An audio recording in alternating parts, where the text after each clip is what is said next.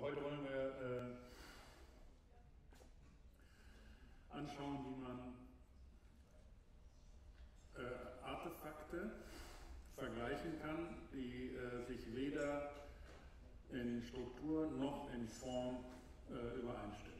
Das heißt, im Prinzip ist das so, dass wir sagen, wie können verschiedene Personen, die man nicht kennt, total äh, komplett, wie, kann man, wie können die miteinander reden?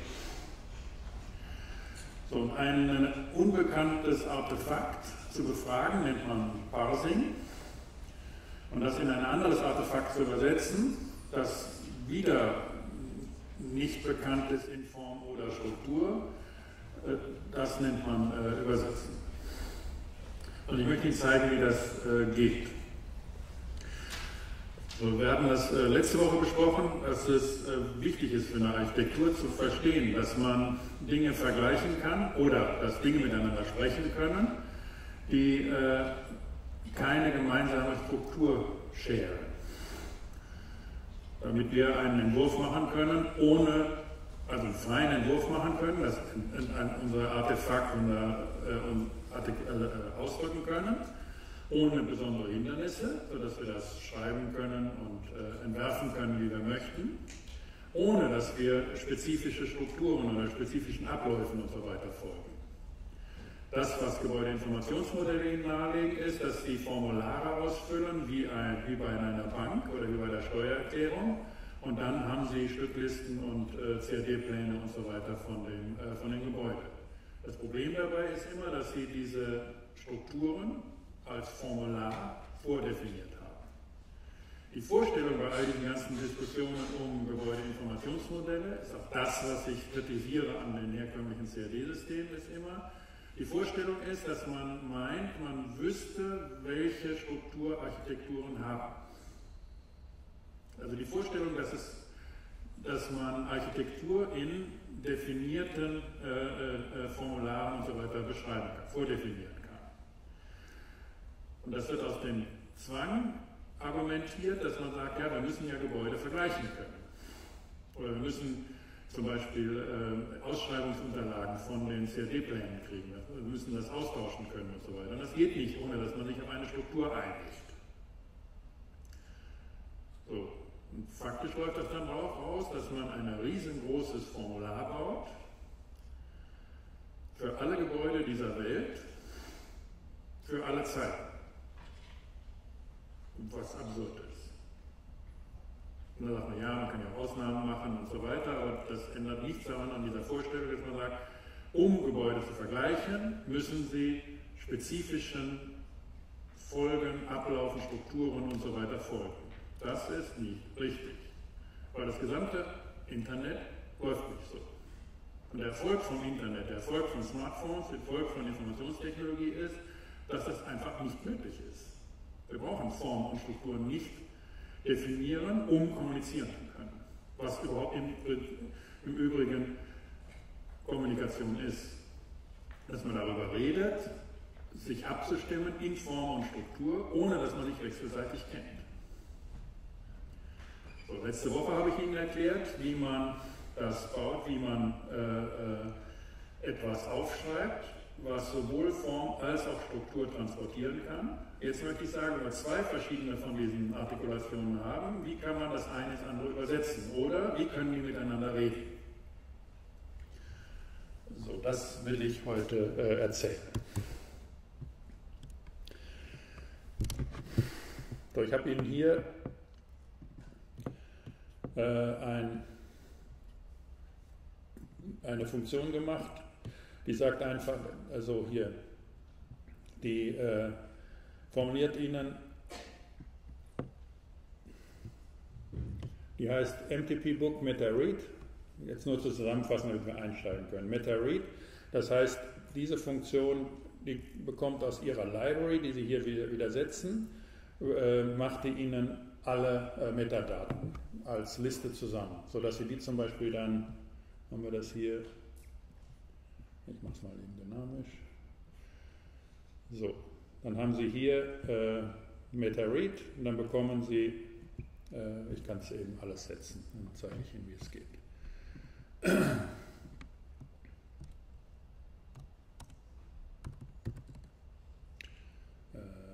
library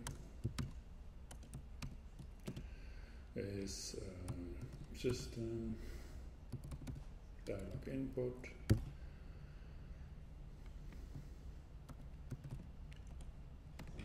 directory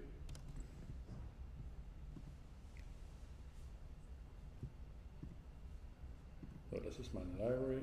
Da habe ich diese Bücher drin. So das sind die äh, File Names die ich im Moment habe. Äh, das ist die Dokumentation, das ist der Code davon und hier ist der Gebrauch. Und Sie sagen einfach nur MTP äh, Library. Schon wieder? Okay, das hätte ich nicht machen brauchen. So, dann kriegen Sie alle Metadaten von Ihrem Ding, von, von, von Ihrer Bibliothek und das können Sie verschicken als Mail an Ihre Kollegen, damit Sie, so wie ich Ihnen das zeigen, gezeigt habe, ihre äh, Bibliothek replizieren können. So, das ist, glaube ich, nützlich. Und wenn Sie das kompakt darstellen, setzen Sie das in ein Dataset und dann haben Sie ah, Desktop, Library. Dann haben Sie hier ein schönes Dataset, mit dem diese Dinge alle äh, beschrieben sind und sortiert sind. Gut, Dann habe ich Ihnen zusammengestellt einen, äh, den Code vom, last, äh, vom, vom letzten Kapitel, äh, von, der, von der letzten äh, Sitzung.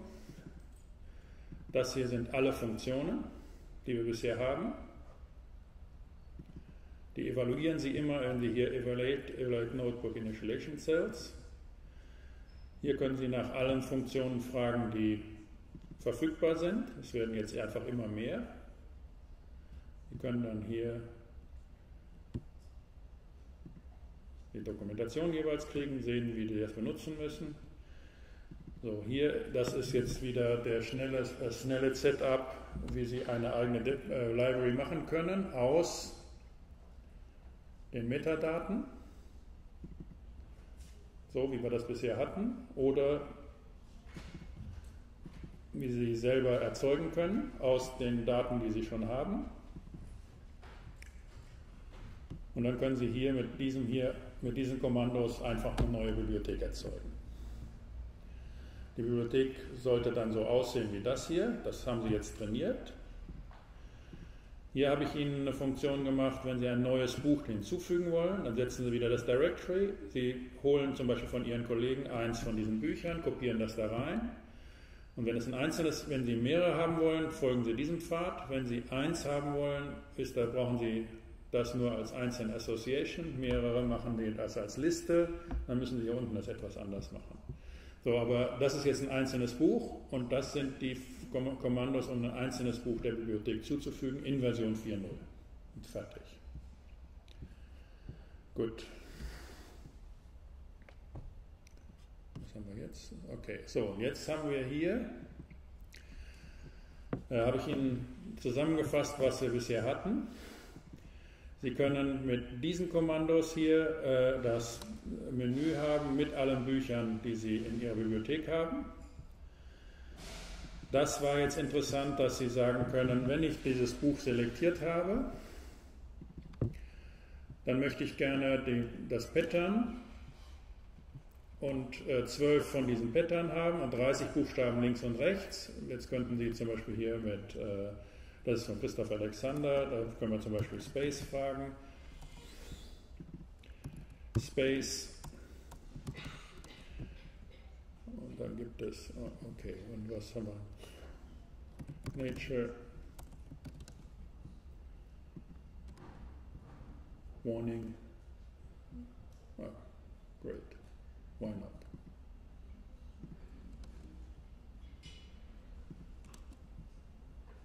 Okay. Okay, lassen wir mal schauen. Und dann jetzt hier, Christoph Alexander ist auch nicht. Ich habe es falsch aufgesetzt. Irgendwas ist. Set directory.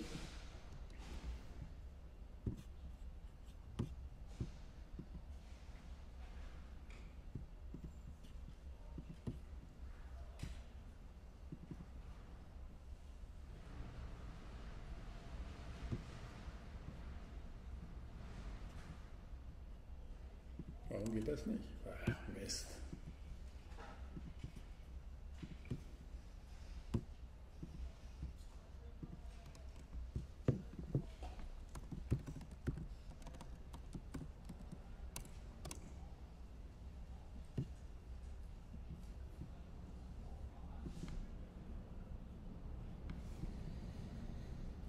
Ich weiß, also ich gucke es mir nochmal an. Das, das, dauert jetzt einfach immer zehn Minuten, bis man sowas raus hat.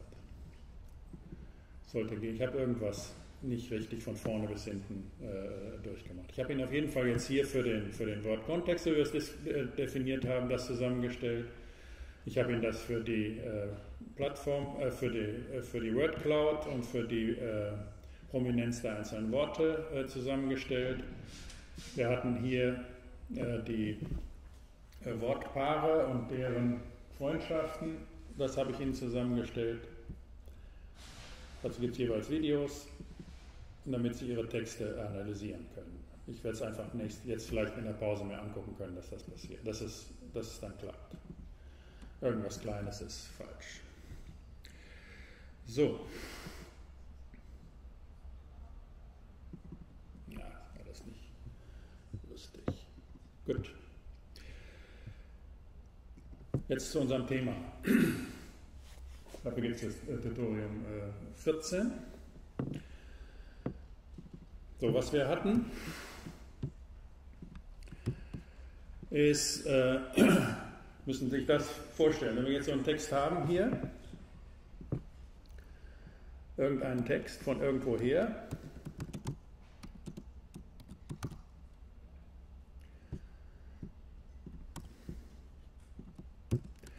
ist das jetzt unser Text, dann können wir mit einfachen globalen Funktionen darauf zugreifen. Und globale Funktion heißt zum Beispiel ist eine String Length. Das sind diese einfachen Dinge, die man auch sofort versteht. Da fragen wir jetzt einfach, wie viele äh, Charakter sind das? Das ist eine globale Funktion. So, wir können auch sagen äh, String Position von Text und jetzt sagen wir zum Beispiel äh, May. Und dann haben Sie das an zwei Stellen von 796 bis 798. So, das ist dann hier irgendwo, hier ist May und dann ist das hier nochmal an diesen Stellen. So kriegen Sie auf einen Text Pattern, den Sie suchen können. So, Sie können auch, und dann können Sie jetzt sagen String Take. Das sind alles globale Funktionen.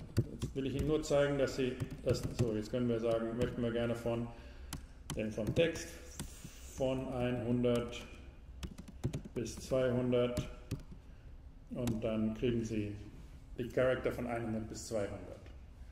So, das ist super einfach zu verstehen, weil das ein Text ist und jetzt globale Funktionen darauf haben. Das heißt, die Struktur, in der Sie arbeiten, ist absolut. So.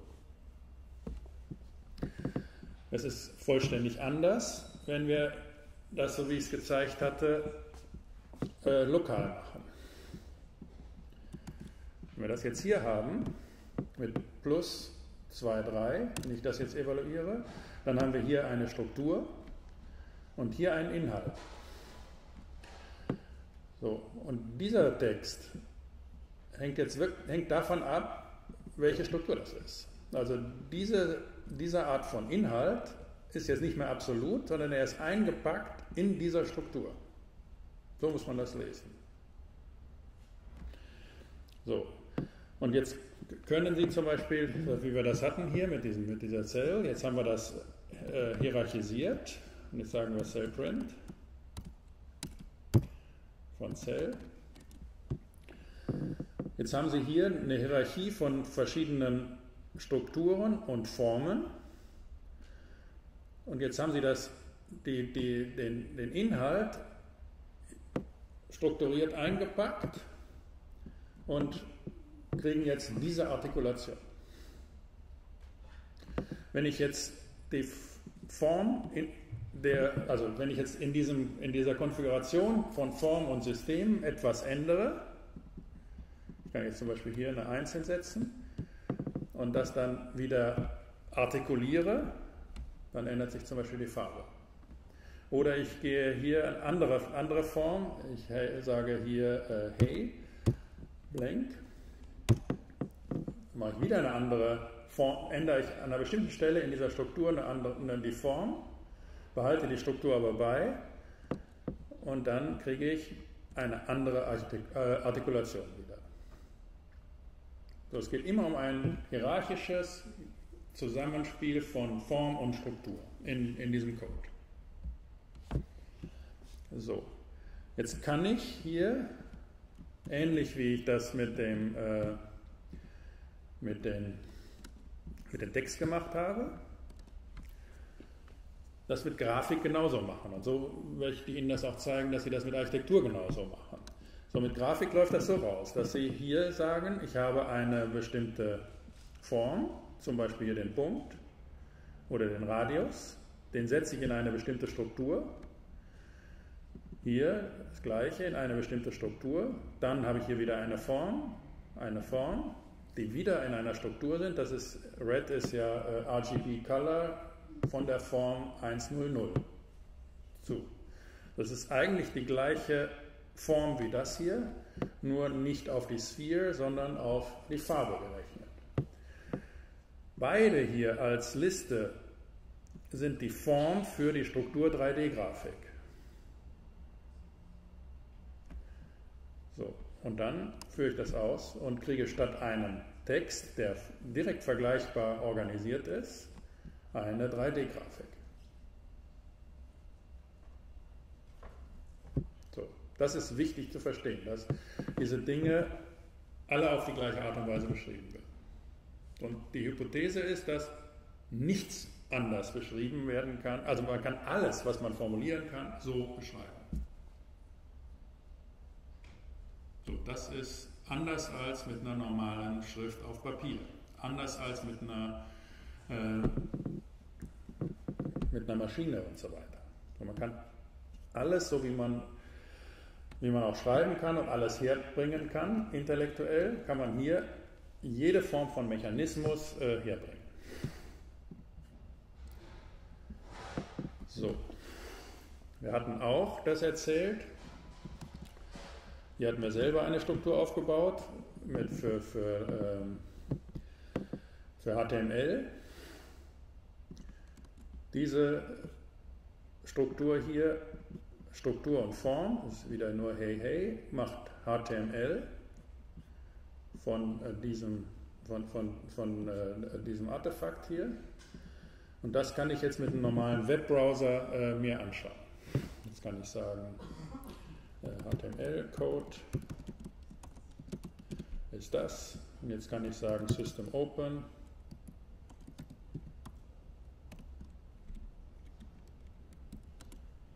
von dem äh, HTML-Code. Ah, ich muss es speichern und so weiter. Ich müsste jetzt, äh, kann ich ja machen, damit Sie es nochmal sehen, wie diese Dinge gehen. Äh, Application, Text Editor.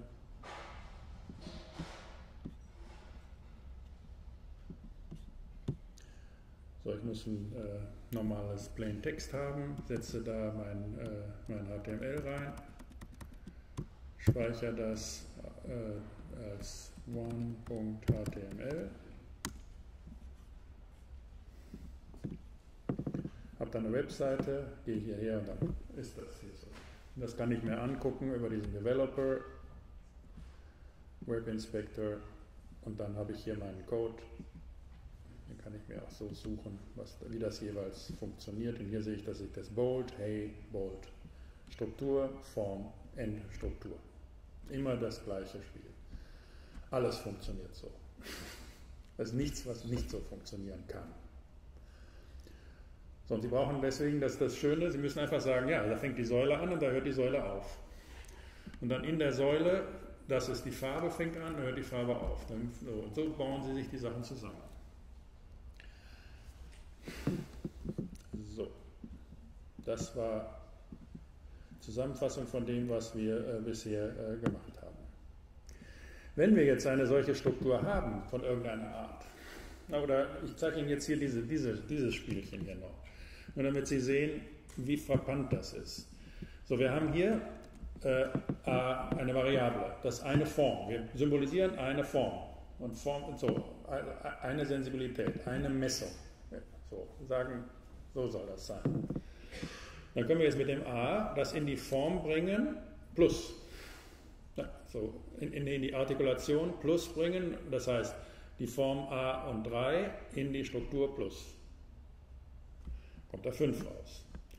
Ich kann die Form Text und A in die äh, String in die Struktur String Tag bringen. Und dann kriege ich die ersten beiden Buchstaben, TE. Ich kann hier die Grafik machen. Das heißt, ich bringe jetzt hier zum Beispiel das A auf die Y-Achse. Machen wir das hier 1. Ist das so, wenn ich das A auf die Y-Achse bringe, kriege ich das, ich kann es auf. So, dann ist das A, ich kann es A auch hier hinbringen, auf die Größe des Bildausschnittes. Das geht nur, weil die Struktur, weil es eingebettet ist in andere Strukturen und im Zusammenspiel mit anderen Formen. So, gehen wir nächstes. Ich kann auch, das ist parametrisches äh, CAD, ich mache das jetzt hier so. Ich sage Grafik, rot, Rectangle, von hier, von hier bis A.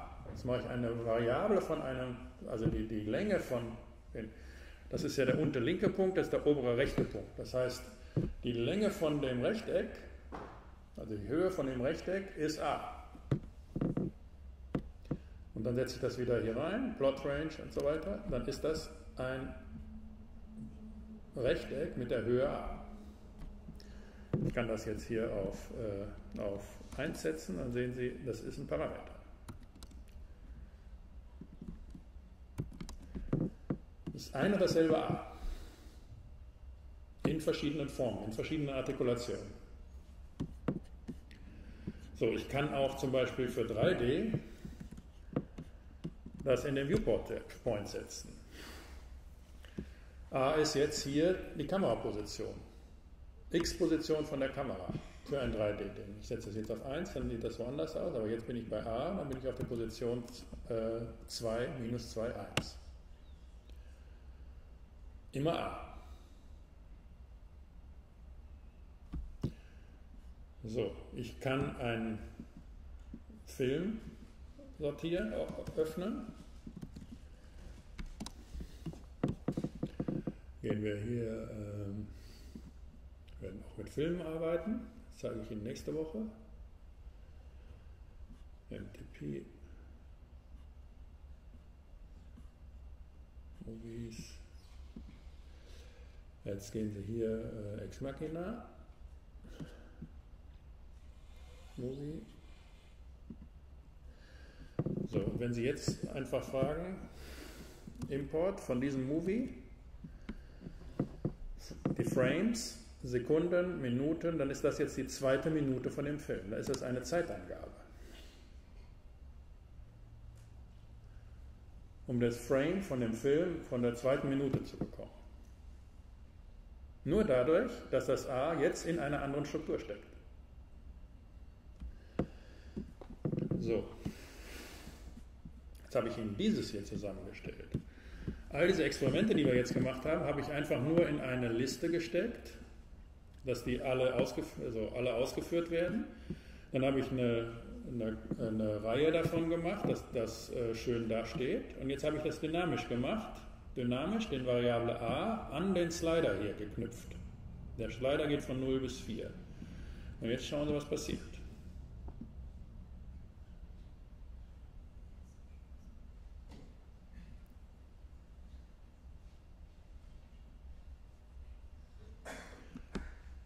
So, es ist ganz entscheidend, dass, dass Form und Struktur nichts miteinander, wirklich überhaupt nichts miteinander zu tun haben.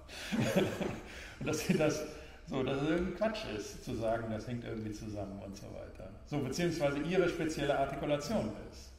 Wenn man das vorher bestimmt, ist es irgendwie doof, wenn man da vorher ein Formular macht, weil man sich alle Möglichkeiten nimmt. So, das jetzt verstanden, geht es darum, wie, kann ich, wie können die überhaupt miteinander reden? Also wenn die Form und Struktur vollkommen unabhängig sind und alles irgendwie nicht miteinander äh, arbeitet, wie kann ich jetzt von einer in das andere übersetzen. Und das nennt man Parsen. So, gehen wir mal hierher. Das zeige ich Ihnen hier, wie das geht. Und das ist nämlich interessant. So, wir haben eine Expression, das ist hier. Das ist jetzt zum Beispiel hier unsere, unsere Bar. Irgendeinen Ausdruck. So, den nennen wir, den habe ich jetzt Expression 01 genannt. Jetzt gibt es dieses wunderbare Konstrukt, das heißt Cases. Ich mache es eben größer. Das ist auch eigentlich nur die Bewegung, die ich Ihnen, der Rest ist dann jetzt Handarbeit. Das ist das, was Sie verstehen müssen. Mehr müssen Sie heute nicht verstehen. Oder wenigstens irgendwie sagen, wow, das ist cool. Ja. Also, also, wir haben Cases. Und jetzt setzen wir in die Cases, setzen wir irgendetwas rein. Zum Beispiel können wir aus der Welt, das ist, also das, ist das erste Parameter, ist irgendetwas aus der Welt. Zum Beispiel sagen Expression 01. So, das ist ein Gegenüber oder etwas aus der Welt oder die ganze Welt, vollkommen egal. So, und jetzt sage ich, gehe ich meine eigene Struktur, ich stelle jetzt eine Frage. Und ich sage, gibt es etwas von dem, wie ich frage? in der Welt. So, jetzt könnte ich zum Beispiel fragen, gibt es Red in der Welt? Und dann sage ich, alle, all. Dann findet er Red, weil das hier ist. Ich kann auch fragen, gibt es ein Rechteck in der Welt? ähm, Rechteck mit, mit mehreren Parametern. Dann sagt er, ja, es gibt ein Rechteck. Ich kann auch sagen, dieses hier, zum Beispiel dieses ganze Ding hier ist Expression O2, ist das hier. So, jetzt haben wir hier Expression O2. Ich sage jetzt hier Expression O2. Das heißt, ich habe jetzt eine bestimmte Frage und ich frage jetzt einfach was anderes in der Welt oder ich frage eine andere Welt. Und dann sehen Sie, er findet ein Rechteck. Und zwar mit einem anderen A. So, was Sie hier haben, ist eine Frage oder was, wie man das nennt, ist ein Pattern oder ein Schlüssel. Und Sie brauchen gar nicht verstehen, was das ist. Sie müssen nur sagen, was Sie wollen. Sie brauchen, es ist vollkommen unerheblich, was Expression Tool ist. Sie müssen nur eine Frage stellen und müssen sagen, ich bin interessiert an Rechtecken. Sie können auch sagen, ich bin interessiert an roten Rechtecken und so weiter. Und das tun Sie mit diesen Schlüsseln. Und wenn Sie da einen falschen Schlüssel haben, zum Beispiel in diesem Fall ein Rechteck, was äh, nur eine Variable hat, dann gibt es halt nichts. Oder wenn Sie nach Grün fragen, die sagen, nee, es gibt kein Grün. Grün, Grün gibt es nicht. So, fangen wir jetzt also an und sagen, und dann zeige ich Ihnen, wie man da jetzt rankommt, dass, ich das, dass wir das jetzt so erstmal kurz schließen. Jetzt sagen wir, wir haben, dann kann ich Ihnen zeigen, wie man äh, da Formen aus, raus und Strukturen raus extrahieren kann. So, das ist jetzt ein Gedankenexperiment, dass ich Expression 1 habe, das ist also nur diese Bar hier. Und jetzt sage, frage ich, gibt es diese Bar da drin? Das es selbst alles und dann müsste es genau die Grafik geben. So, das heißt, wenn ich jetzt aber frage, gibt es das mit, dem, mit der Größe 1, dann sagt er nein. Gibt es das mit der Größe a? Dann sagt er nein, weil a im Moment über, diesen, über, den, äh, über den Slider 1,33 ist. So, wenn ich jetzt wieder auf 2 mache, sagt er, das habe ich. So, jetzt möchte ich aber gerne das nicht spezifisch machen. Das heißt, ich möchte sagen, es ist mir vollkommen egal, welches, welche Länge der Balken hat. Es ist mir nicht egal, auf welcher x-Koordinate es ist. Es ist mir auch nicht egal, welche Farbe das ist. Dann setzen Sie hier ein Variable hin, einen Joker hin. Und dann funktioniert es. So, Sie sagen auch, es ist mir vollkommen egal, welche Farbe das ist. Dann sagen Sie hier. So, dann sagen Sie, wo der Plot Range oder die Axis, die Image Size und so weiter sind, nehme ich weg. Und da das mehrere sind, sage ich, ist mir egal. Also das heißt immer 1 ist mir egal, jetzt wird es nicht funktionieren. Jetzt sagen wir haben mindestens, mindestens 1, dann funktioniert es. Und wenn es entweder gar keins oder beliebig viele, dann müssen Sie drei von den Unterbalken einsetzen. So, das heißt, das matcht jetzt. Das ist ja schon mal lustig. So, dann sage ich, hier, an dem, an dem A bin ich eigentlich interessiert. Dann sagen wir, das nenne ich x. So, und dann kann ich hier sagen, das x will ich haben. Ich will gar nicht das Ganze haben, sondern ich will nur das x haben. Und dann kommt jetzt die 2. Das heißt, was immer jetzt passiert, erholt sich das mit diesem Filter einfach das x raus. So, und jetzt sage ich, ja, wenn das so ist, ich will einfach nur die, die Höhe von dem Rechteck, dann bin ich nicht interessiert hier dran und ich bin auch nicht interessiert hier dran.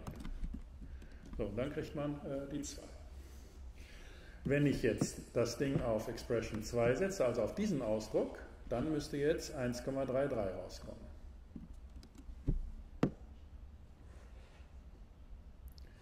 So, das heißt, ich stelle jetzt eine Frage an die Welt mit einem ganz bestimmten Filter. Das ist sowas wie ein Schlüssel. Und dann hole ich mir Parameter raus, die ich haben möchte.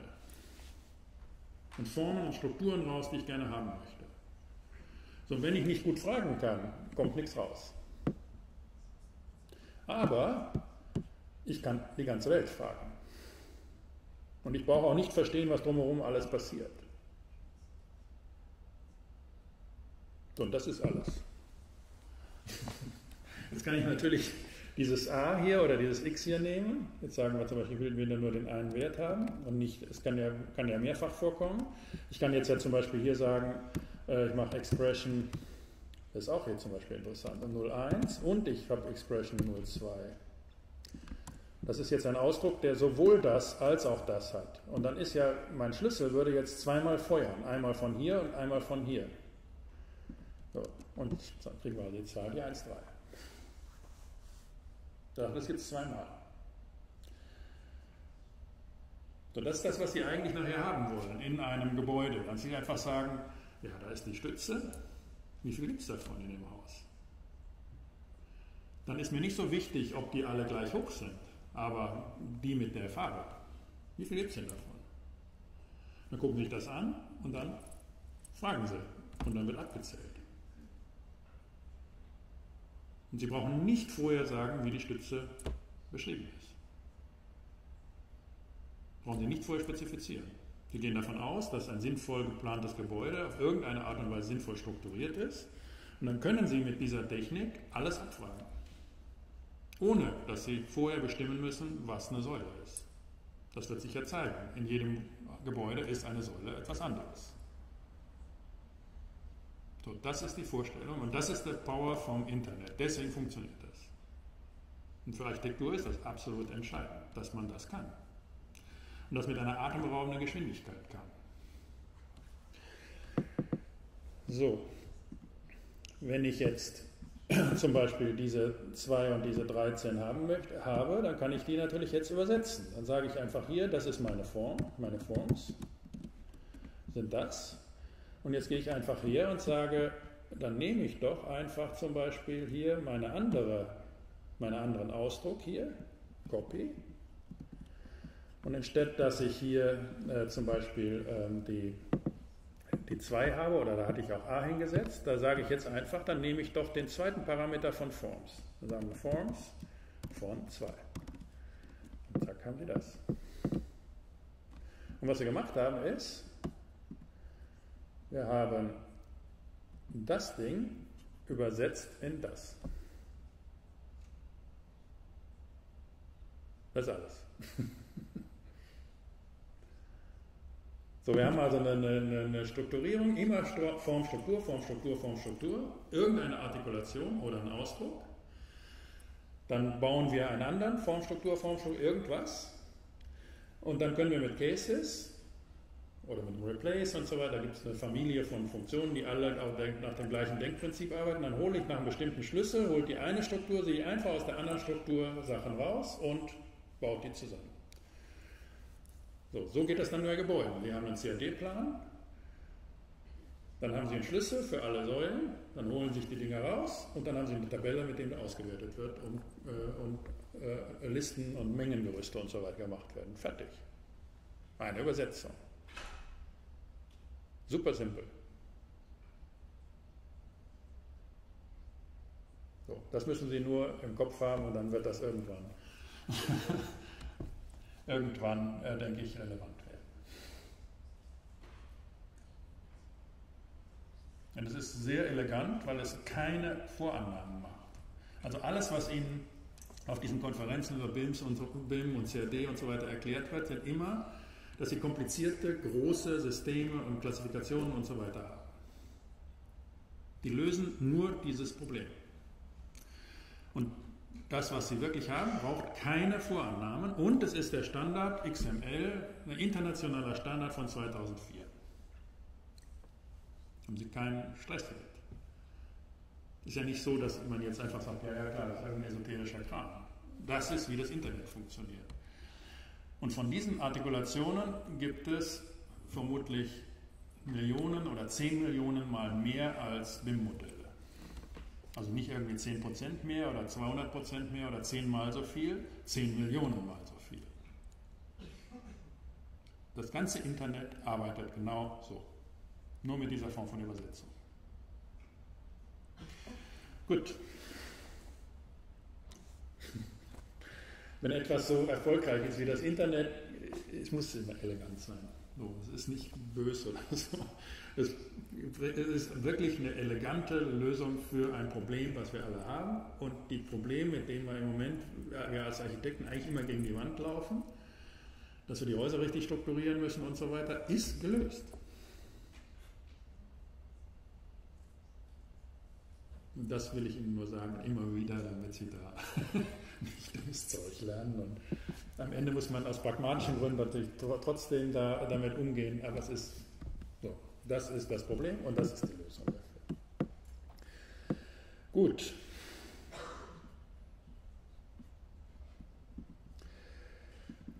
Ähm, mache ich Ihnen noch das kurz. Jetzt ist das relativ klar, ne? wie, wie, wie Sie das machen müssen. Und dann gehen wir äh, nach der Pause in ein, in ein äh, Beispiel. So, wir haben hier den HTML-Code. Ähm,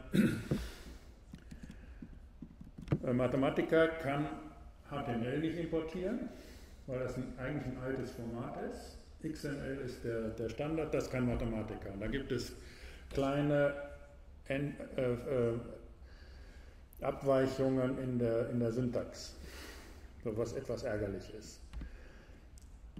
So, hier der ist HTML und XML, deswegen funktioniert das. Wir müssen da immer drum herum, das werde ich jetzt bei dem größeren Beispiel, werde ich Ihnen auch zeigen, wie man drum herum kommt. So, was wir aber vor allen Dingen machen, ist, dass äh, es jetzt in XML und dann in die Syntax von Mathematica übersetzt wird. Und dann haben wir XML-Objekte. Das ist, glaube ist einfach die gleiche Struktur wie das und noch unleserlicher als das. So, aber es ist jetzt nicht ein String, wo einfach nur Buchstaben miteinander stehen, sondern es ist strukturiert. Und damit kann ich jetzt schnell und gut arbeiten. Das heißt, ich kann jetzt hier zum Beispiel sagen Cases.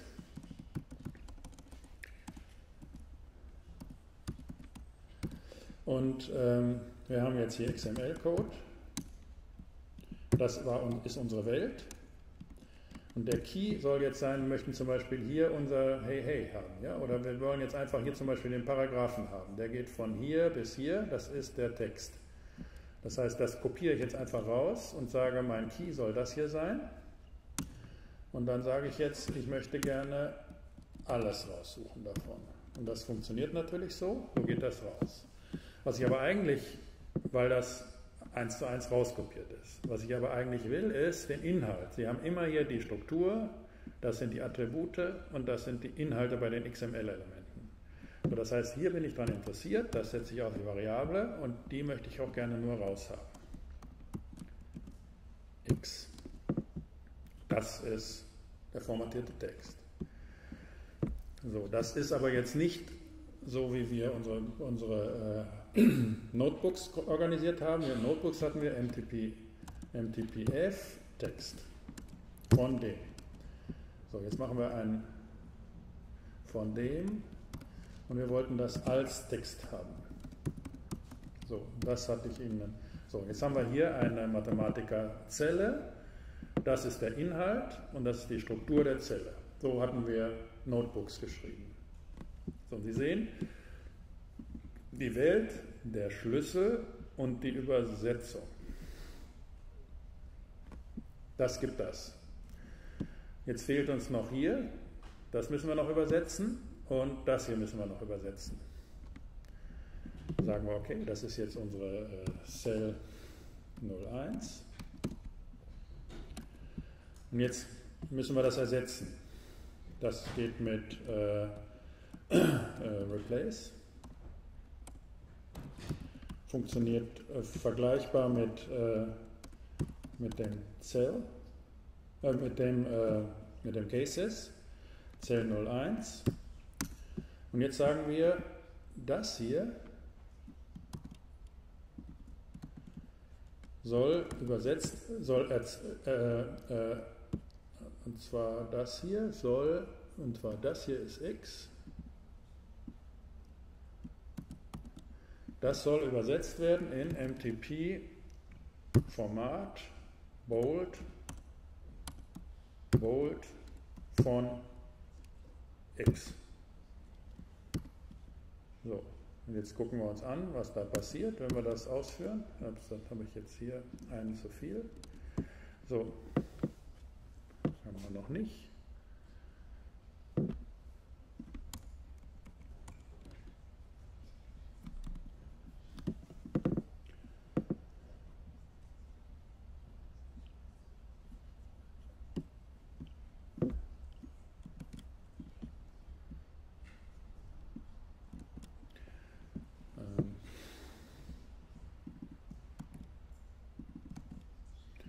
So, das XML ist der Schlüssel, so soll es übersetzt werden. Das I ist der Schlüssel, so soll es übersetzt werden mit Y. Das möchten wir für alle machen. Ich habe das All vergessen. So, und jetzt sagen Sie, das soll ersetzt werden und das soll ersetzt werden. Und jetzt kriegen wir hier eine andere Struktur. So, wir haben alle Inhalte übernommen, die uns interessant sind, und wir haben die Strukturen in, ein anderes, in, ein, in eine andere Struktur einfach übersetzt. Das ist jetzt hier so, dass ich es äh, Cellprint machen kann.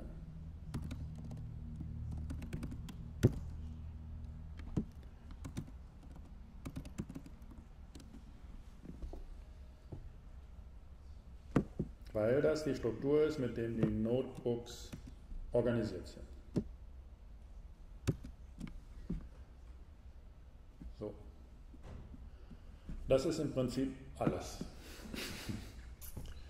So, jetzt wollen wir dann, jetzt machen wir äh, 10 Minuten Pause und dann machen wir ein, ähm, ein äh, Beispiel. Ich werde Ihnen hier Reuters Nachrichten zu einem Notebook äh, zusammensetzen. So die letzten 100 Nachrichten, ein Buch machen. Zum Lesen ohne Werbung. Ja? Was Sie dann mit Designboom und mit, all, mit den äh, Immo-Scout auf die gleiche Art und Weise machen können. So. Aber die prinzipiellen Gedanken und die prinzipiellen Werkzeuge, die denke ich, habe ich jetzt sehr präzise erklärt. Der Rest ist Handwerk. Okay, machen wir ein bisschen Pause und dann geht es weiter.